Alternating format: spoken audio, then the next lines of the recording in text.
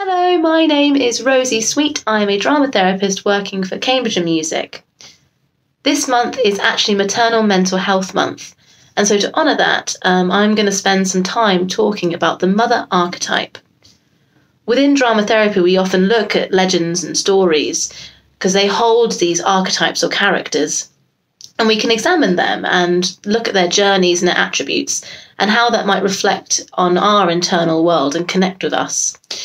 Uh, the mother archetype is uh, one that props up again throughout all cultures and for thousands and thousands of years. And this isn't just related to females, um, all genders can look at the mother archetype and take elements of her that might connect with them. She is, as I said, throughout history, and I'll give you some examples, but a very clear example of her um, is Mother Nature.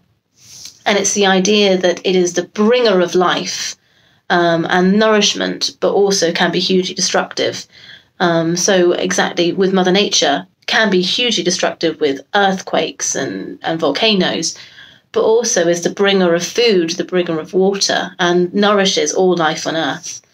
The ancient Greeks have an example of this too. Um, their goddess Gaia, who gave birth to all gods and goddesses um, and the creation, but was born of chaos herself. And the ancient Egyptians had the goddess Isis, who, when her husband um, was scattered into lots of different pieces, scoured all of Egypt, uh, brought his pieces back together, and was able to breathe healing energy back into him, so that he was then able to become king of the underworld.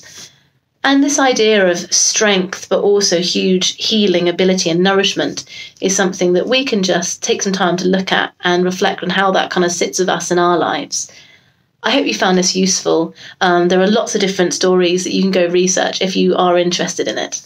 Uh, have a wonderful day and take care. Bye bye.